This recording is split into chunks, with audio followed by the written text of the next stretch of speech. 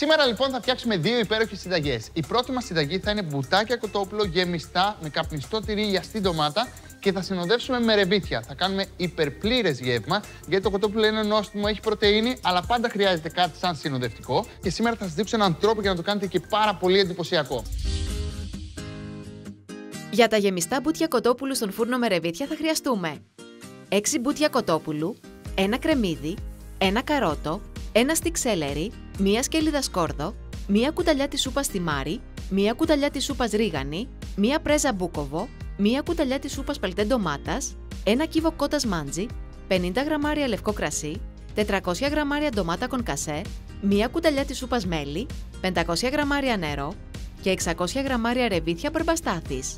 Για τη γέμιση θα χρειαστούμε 200 γραμμάρια μετσοβόνε, 80 γραμμάρια λιαστές ντομάτες, πιπέρι, μισό ματσάκι μαϊντανό, 3 κρεμμύδια φρέσκα, αλάτι και 2 κουταλιές της σούπας ελαιόλαδο.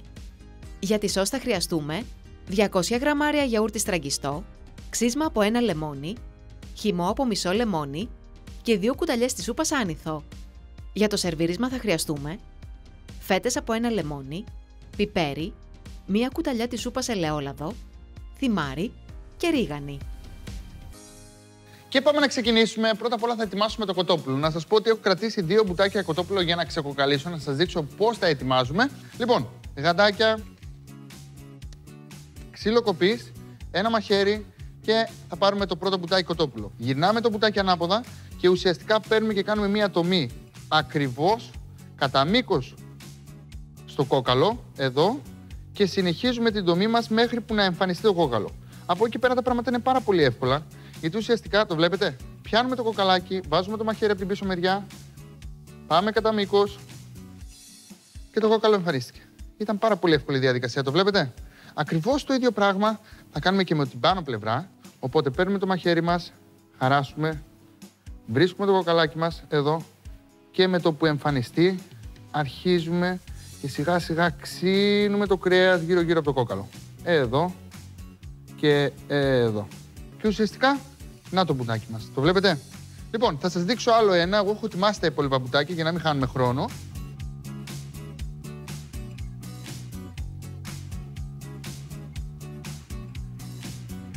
Τέλεια. Και έχω έξι υπέροχα μπουτάκια κοτόπουλου ξεκοκαλισμένα. Και ήρθε η ώρα αυτά τα υπέροχα μπουτάκια να τα γεμίσουμε. Το μόνο που χρειαζόμαστε είναι λίγο καπνιστό τυρί. Θα κόψετε ωραίες λωρίδες εδώ πέρα και δεν το λυπάμαι, βάζω αρκετό. Και θα πάρετε και θα βάλετε σε κάθε μπουτάκι τυρί, ακριβώς στη μέση. Και σε περίπτωση που βάλετε παραπάνω και ξεχυλήσει, να ξέρετε, καλό θα κάνετε στη συνταγή, γιατί όλο αυτό το τυρί θα φύγει στη συνέχεια μέσα στα ρεβίθια και τα ρεβίθια θα πάρουν έτσι μια ωραία καπνιστή γεύση. Και είναι κάτι που θέλουμε. Λοιπόν, και έχω λιαστές ντομάτες που θα κάνω ακριβώς το ίδιο πράγμα.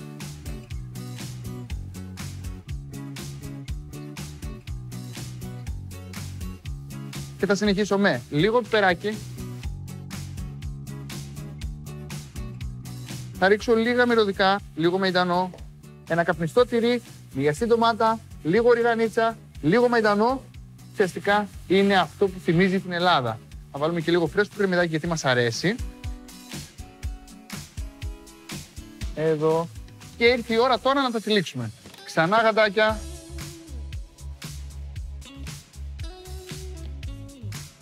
Λοιπόν, παίρνουμε ένα σπάγκο, τυλίγουμε εδώ, κάνουμε έναν ωραίο κόμπο.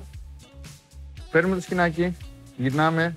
Μία, δύο. Λοιπόν, το πρώτο είναι έτοιμο και ακριβώς με τον ίδιο τρόπο θα ετοιμάσω και όλα τα υπόλοιπα. Και αφού ετοιμάσαμε τα μπουτάκια μας και καθαρίσαμε πολύ καλά όλες τις επιφάνειες, ήρθε η ώρα να μαγειρέψουμε το κοτόπουλο. Πώς; Ε, μπορείτε να το κάνετε είτε απευθείας σε μία γάστρα για να ξοδεύετε λιγότερα σκεύη, ή μπορείτε να το κάνετε με μία γάστρα και να τη κάνετε σε περίπτωση που η γάστρα σας δεν μπαίνει πάνω στη φωτιά. Λοιπόν, αυτή η συγκεκριμένη μπαίνει πάνω στη φωτιά. Οπότε, ανάβω τέρμα το μάτι μου και στην αρχή πρέπει να πάρουμε όλη τη γεύση που θέλουμε να βγάλει το κοτόπουλο. Γι' αυτό το λόγο ψήνω σε ένα σκεύο. Ουσιαστικά θα σοτάρουμε το κοτόπουλο και συνέχεια θα ρίξουμε τα ρεβίθια και θα ψήσουμε όλο το φαγητό μέσα στο φούρνο. Αλλά πώς θα γίνει αυτό; Λοιπόν, απ' έξω θα ρίξουμε και αλάτι και πιπέρι. πιπεράκι, αλατάκι και φυσικά λίγο ελαιόλαδο. Μην το παρακάνετε. Θα βγάλει και πετσούλα από το κοτόπουλο λιπαρά. Οπότε δεν χρειάζεται να βάλουμε πολλά λιπαρά στο φαγητό μας. Θέλουμε να το κάνουμε τόσο όσο. Λοιπόν, τώρα ερχόμαστε εδώ. Φροντίζουμε το seasoning να πάει παντού. Αλάτι, πιπέρι, ελαιόλαδο. Κοιτάξτε τι ωραίο που φαίνεται. Είναι φανταστικό. Και αυτό που θέλω να κάνετε είναι να δώσετε χρώμα στο κοτόπουλο. Και όταν λέω να δώσετε χρώμα, πραγματικά να χρυσίσει. Γιατί όσο χρυσίζουμε τα κρέατα, τόσο πιο νόστιμα γίνονται. Σε περίπτωση που δεν το κάνουμε, χάνουμε ένα 30 με 40% της γεύσης που θα πάρουμε τελικά από το φαγητό μας. Και είναι αυτό που δεν θέλουμε. Όλη τη διαδικασία την κάνουμε για να προστατεύσουμε το κοτόπουλο, να βγει ζουμερό, αλλά ουσιαστικά θέλουμε και να δώσει περισσότερη γεύση στο φαγητό μας. Λοιπόν, πάρε το κοτοπουλάκι, βάλει το μέσα στη γάστρα και δώστε ωραίο χρώμα από όλες τις πλευρές.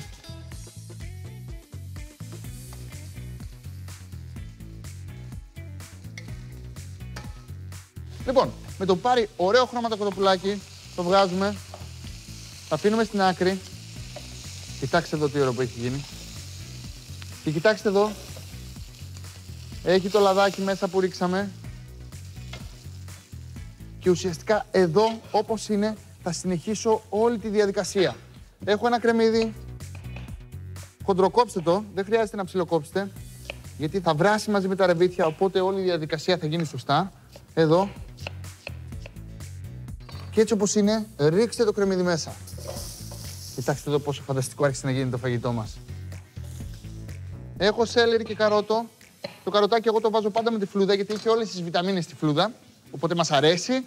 Θέλουμε ένα θρεπτικό φαγητό. Για αυτόν τον λόγο χρησιμοποιήστε το με τη φλούδα. Κόψτε εδώ σε μισοφέγγαρα και το σέλερι μας. Σε περίπτωση που θέλετε να βάλετε και σέλινο, μπορείτε. Το σέλερι είναι πολύ πιο ήπιο από το σέλινο. Ρίχνουμε και καρότο και σέλερι μέσα. Και τώρα τι θέλουμε; Θέλουμε τα λαχανικά μας, όπως ακριβώς συμπεριφερθήκαμε στο κοτόπουλο, να συμπεριφερθούμε και στα λαχανικά μας. Θέλουμε να καραμελώσουν. Λοιπόν, έχω και μία σκελίδα σκόρδο. Δεν έχει σημασία άμα την ψιλοκόψετε ή όχι. Τι άλλο θα λιώσει μέσα στο φαγητό μας. Ρίξτε και το σκόρδο. Και κοιτάξτε εδώ. Και τώρα ήρθε η ώρα να δώσουμε άρωμα και γεύση. Εδώ πέρα έχουμε ρίγανη και εδώ πέρα έχουμε τιμαράκι. Και τα δύο μπορούμε να τα ρίξουμε. Είναι δύο μυρωδικά που πάνε πραγματικά με αυτή τη συνταγή. Οπότε θα τα ρίξω μέσα, φρέσκα, ωραία, να αρχίσουν να δίνουν αρώματα. Για να κάνω έτσι λίγο spicy το φαγητό μου θα ρίξω ελάχιστο μπούκοβο. Ελάχιστο. Ανακατεύουμε και καθώς καραμελώνουν τα λαχανικά μας, ήρθε η ώρα να ρίξουμε το μπελτέ ντομάτα. Πρέπει να ρίξουμε το μπελτέ, γιατί ο μπελτές θα δώσει σώμα στο φαγητό μας. Και επίσης πρέπει οπωσδήποτε να σοτάρουμε τον μπελτέ. Ο μπελτές βρισκόταν πάρα πολύ καιρό μέσα σε μια κονσέρβα. Και τώρα πρέπει να του δώσουμε ξανά ζωή. Πώς το κάνουμε αυτό, βάζοντας τον μπελτέ σε ένα τηγανάκι, σε ένα ταψάκι, σε μια γάστρα και σοτάροντά τον γλυκένει, φεύγει η πικρίλα που μπορεί να έχει και δίνει περισσότερο σώμα στο φαγητό, δίνει περισσότερο νόημα. Όπως παρατηρήσετε, ως τώρα δεν έχω βάλει καθόλου αλάτι και πιπέρι στα λαχανικά μου. Γιατί; Γιατί θα ρίξω μέσα στο ζωμό μου. Ο ζωμός επίσης θα βοηθήσει πάρα πολύ τη διαδικασία που σας είπα πριν στο να δώσουμε σώμα στο φαγητό μας. Λοιπόν, σε αυτή τη συνταγή χρησιμοποιούμε έναν κύβο ζωμό κότας μάτζι και ουσιαστικά δεν χρειάζεται να βάλουμε τίποτα άλλο από αλάτι μέσα στη συνταγή μας. Λοιπόν, ρίχνουμε το ζωμό μας μέσα και μόλις ρίξουμε το ζωμό, ήρθε η ώρα να προσθέσουμε κάτι για να ντεγκλασάρουμε τη γάστρα μας. Λοιπόν, πάντα κρασάκι μέσα, ανακατεύουμε και κοιτάξτε εδώ, όπως βλέπετε, το κρασάκι πήρε όλες τις γεύσεις που υπήρχαν στη γάστρα και τις έβαλε μέσα στη σάλτσα. Ουσιαστικά μαζί με το ζωμό που είχαμε και μαζί με το μπελτέ φτιάξαμε τις τέλειες προοπτικές για να ρίξουμε μέσα όλα τα υπόλοιπα μας υλικά. Θα ρίξω μέσα ντοματούλα κονκασέ και επειδή έχω μέσα και το μπελτέ και την ντοματά κονκασέ θέλω να βοηθήσω λίγο έτσι τη γλυκύτητα του φαγητού μου. Γι' αυτό το λόγο θα ρίξω ελάχιστο μέλι να ισορροπήσω έτσι λίγο το ξινό στοιχείο της ντομάτας γιατί όσο και να είναι, οι ντομάτες είναι γλυκές μόνο τον Αύγουστο. Ήρθε η ώρα για το νεράκι μας και τα ρεβίτια μας.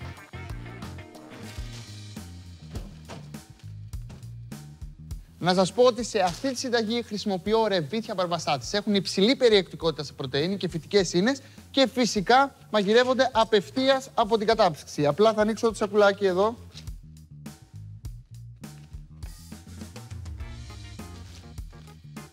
Ρίχνω μέσα τα ρεβίθια μου. Ανακατεύω. Και ήρθε η ώρα για τα μπουτάκια. Τα βάζω ξανά μέσα την πετσούλα την αφήνουμε προς τα πάνω και εδώ πέρα το άνοιγμα το βάζουμε προς τα κάτω γιατί σας είπα ότι οτιδήποτε φεύγει από τη γέμιση θέλουμε να πάει απευθείας μέσα στα ρεβίθια. Κοιτάξτε εδώ πόσο φανταστικό είναι. Εδώ. Και εδώ. Και εδώ. Πείτε μου πόσο ωραίο φαίνεται. Είναι φανταστικό. Και τώρα, καθώς άρχισε να βράζει πάλι λίγο έτσι ε, το ζουμάκι μέσα στη γάστρα, θα σβήσω τη φωτιά μου τελείως. Θα καπακώσω τη γάστρα μου. Πενθυμίζω ότι άμα δεν έχετε γάστρα, αλουμινόχαρτο και ταψάκι. Και ο φούρνος μου είναι προθερμασμένος στους 180 βαθμούς, όπως είναι. Πρέπει να ανοίξω πρώτο το φούρνο, γιατί έχω δύο χέρια, καταλαβαίνετε. ναι. Παίρνω τη γάστρα. Μέσα στο φούρνο. Και θα περιμένω μια μισή ωρίτσα μέχρι που το φαγητό μου να είναι έτοιμο. Το κοτόπουλο θα έχει λιώσει πραγματικά μέσα, τα ρεβίθια θα έχουν ψηθεί στην εντέλεια και ουσιαστικά θα πάρουμε το πιο ολοκληρωμένο γεύμα και φυσικά το πιο γευστικό. Ραντεβού σε μια μισή ώρα. Τα ρεβίθια ήταν γνωστά από την εποχή του Ομήρου. Η λέξη ρεβίθι προέρχεται από το αρχαίο Ερέβινθο, που στα βυζαντινά χρόνια έγινε ρεβίθιον. Στην κατοχή υποκαθιστούσαν τον καφέ με τριμμένο ρεβίθι ή με κρυθάρι ανακατεμένο με ρεβίθι. Στις Κυκλάδες και τα Δωδεκάνησα καλλιεργούν ρεβίθια εξαιτίας του ξηρού του κλίματος του Αιγαίου. Από τα ρεβίθια βγαίνουν τα στραγάλια και ένα από τα πιο αγαπημένα εδέσματα του Αιγαίου, η ρεβιθάδα. Το φαγητό μου είναι σχεδόν έτοιμο, πραγματικά μυρίζει υπέροχα, αλλά πριν το βγάλω θα ετοιμάσω μία συνοδευτική σαλτσούλα, έτσι δροσιστική, ε, για να συνοδεύσω το φαγητό μου. Δεν θα βάλω πολλά υλικά, γιαουρτάκι, άνηθο και λεμόνι. Ε, εδώ, λίγο ξύσμα από λεμόνι, Και επειδή όλα τα στραγγιστά ελληνικά γιαούρτια, να ξέρετε όταν περνάνε τη διαδικασία της στράγγισης, γενικά χάνουν οξύτητα, γίνονται πιο γλυκά. Εμένα μου αρέσει να βάζω λίγο οξύτητα μέσα, οπότε λίγο λεμονάκι θα βοηθήσει πάρα πολύ. Και επίσης φαγητό με ρεβίθια χωρίς λεμόνι, καταλαβαίνετε ότι δεν είναι σωστό. Ε, θα ρίξω μέσα και λίγο άνηθο, ψιλοκομμένο. Οπότε έχουμε μία άκρος δροσιστικής σαλτσούλα που τη φτιάξαμε μόλις σε 30 δευτερόλεπτα. Αλάτι πιπέρι δεν θα βάλω, θα κρατήσω μια ισορροπία και φυσικά δεν θα βάλω ελαιόλαδο. Σε περίπτωση που βάλετε ελαιόλαδο μέσα στο γιαούρτι, να φροντίσετε πάντα να βάζετε ελάχιστη ποσότητα, γιατί το πολύ ελαιόλαδο μέσα στο γιαούρτι σκεπάζει όλη τη γεύση από το γιαούρτι. Αλλά ήρθε η ώρα να βγάλουμε τον πρωταγωνιστή μας μέσα από το φούρνο. Και είναι εδώ. Κοιτάξτε εδώ. Είναι υπέροχο, μυρίζει υπέροχα. Παναγία μου. Τώρα ήρθε η ώρα για τα αποκαλυπτήρια. Κοιτάξτε εδώ. Μόνο σαν θέα το να βγάλεις ένα τραπέζι αυτή τη γάστρα με αυτή τη σαλτσούλα από δίπλα, κατευθείαν τους έχεις κερδίσει όλους με πολύ απλό τρόπο, γιατί είναι κάτι μοναδικό και κάτι που δεν έχουν συνδυάσει στο μυαλό τους. Και είναι κάτι που όλοι τρώμε. Κοτοπουλάκι τρώμε, ρεβίθια τρώμε. Θα συνδυάσουμε δεν είναι τίποτα. Λοιπόν, θα βγάλω ένα μπουτάκι, θα βγάλω αυτό, το μεσαίο. Κόψτε το σπάγκο και μην ξεχνάτε ότι αυτό το μπουτάκι δεν είναι ένα απλό μπουτάκι και τι δεν έχει μέσα. Θα στήσω ένα ωραίο πιατάκι, έτσι λίγο πιο γκουρμέ. Οπότε, θα πάρω λίγα από τα ρεβίθια μου. Κοιτάξτε εδώ. Η σαλτσούλα είναι ακριβώς όπως πρέπει να είναι. Ούτε να είναι στεγνά, ούτε να είναι σούπα. Κάτι ενδιάμεσο, γιατί ουσιαστικά θέλουμε να συνοδεύσουμε το φαγητό μας με τα ρεβίθια. Και ήρθε η ώρα να κόψουμε το κοτοπουλάκι μας. Εδώ. Ωραίες φετούλες. Κοιτάξτε εδώ.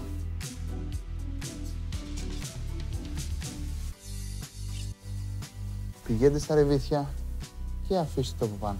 Εδώ. Κοιτάξτε εδώ η γέμιση, πόσο υπέροχη είναι. Το τυράκι μπορεί να μην φαίνεται, αλλά έχει λιώσει και έχει πάει μέσα στο φαγητό. Και φυσικά αυτό που θέλω είναι ένα ωραίο και από το δροσιστικό γιαουρτάκι, αυτό καίει Οκ, ωραία. Και βέβαια πρέπει πάντα να δίνουμε την επιλογή για περισσότερο λεμονάκι σε όποιον θέλει. Οπότε, δύο φετούλες λεμονάκι, εδώ και εδώ. Το κάναμε έτσι λίγο πιο εστιατορικό, αλλά είναι το απλό φαγητό που θα κάνετε σπίτσας ε, με λίγο extra twist. Θα ρίξω λίγο πιπεράκι, λίγο ελαιόλαδο από πάνω, φρέσκο ελαιόλαδο και βέβαια θα κόψω λίγο ακόμα μυρωδικά από αυτά που ήδη έχω χρησιμοποιήσει. Δηλαδή λίγο ρίγανη και λίγο θυμαράκι. Το θυμαράκι ξέρετε ότι είναι από τα αγαπημένα μου μυρωδικά. Το βάζω παντού. Και κατευθείαν με το που ρίξουμε λίγο θυμαράκι και τη ρίγανη, κοιτάξτε εδώ αποτέλεσμα. Θα μπορούσες άνετα να το σερβίρεις στο πιο γκουρμέ εστιατόριο και αυτό το φαγητό εγώ το έκανα για να το σερβίρετε κανονικά στους φίλους σας και την οικογένειά σας. Για τα γεμιστά μπουτια κοτόπουλου στον φούρνο με ρεβίθια. Φιλετάρουμε τα μπουτάκια αφαιρώντα μόνο τα κόκαλα. Κόβουμε το μετσοβόνα σε μακριά κομμάτια και τα βάζουμε στη μέση κάθε φιλέτου. Προσθέτουμε τις λιαστές ντομάτες, το πιπέρι, τον μαϊντανό και το φρέσκο κρεμμυδάκι. Τυλίγουμε τα γεμιστά φιλέτα, τα δένουμε με σπάγκο και ρίχνουμε αλάτι, πιπέρι και ελαιόλαδο. Στη συνέχεια τα σοτάρουμε σε μια γάστρα από όλες τις πλευρές μέχρι να πάρουν χρώμα. Τα αφαιρούμε και σοτάρουμε στη γάστρα το κρεμμύδι, το καρότο, το σέλερι και το σκόρδο. Προσθέτουμε το θυμάρι, τη ρίγανη, το μπούκοβο και τον πελτέ ντομάτας. Βάζουμε τον κυβοκότα, σβήνουμε με το κρασί, ρίχνουμε την ντομάτα κονκασέ, το μέλι, το νερό, τα ρεβίθια και ανακατεύουμε. Προσθέτουμε τα γεμιστά μπουτάκια με την πέτσα προς τα πάνω, αφήνουμε να πάρουν μία βράση και καλύπτουμε με το καπάκι τη γάστρα. Στη συνέχεια τα ψήνουμε σε προθερμασμένο φούρνο στους 180 βαθμούς για μία μισή ώρα. Αφού ψηθούν, αφαιρούμε τον σπάγκο και κόβουμε το κοτόπουλο σε κομμάτια. Για τη σάλτσα, βάζουμε σε ένα μπολ το γιαούρτι, το ξύσμα από το λεμόνι, το χυμό από το λεμόνι, τον άνηθο και ανακατεύουμε.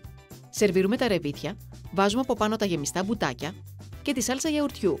Προσθέτουμε φέτες από λεμόνι, ρίχνουμε πιπέρι, ελαιόλαδο, θυμάρι και ρίγανη. Και ήρθε η ώρα της μεγάλης δοκιμής. Νομίζω ότι πραγματικά σε όλους πρέπει να τρέχουν τα σάλια. Θα ρίξω λίγο λεμονάκι πάνω από το κοτόπουλο και φυσικά πάνω από τα ρεβίθια. Εδώ. Οχ. Και θα ξεκινήσω λίγο με τα ρεβίθια. Μμμ. Το τυρί μέσα έχει δώσει τόσο ελαφριά καπνιστή γεύση που πραγματικά πάνε τα ρεβίθια σε άλλο επίπεδο. Θα δοκιμάσω βέβαια και κοτοπουλάκι. Δεν χρειάζεται μαχαίρι, χρειάζεται μόνο λίγο να ακουμπήσει με το πυρουνάκι σου. Λιώνεις το στόμα. Και το πιο φανταστικό είναι να συνδυάσεις μαζί με τα ρεβιθιά και λίγο από τη σάλτσα.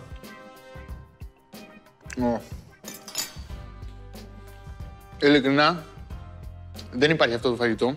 Έχει καπνιστή γεύση το ρεβίθι τόσο όσο το λεμόνι και η σάλτσα που είναι δεμένοι έχουν δώσει μια απίστευτη υφή. Δεν χρειάζεται σάλτσα για το κοτόπουλο, γιατί συνήθως το κοτόπουλο είναι λίγο στεγνό.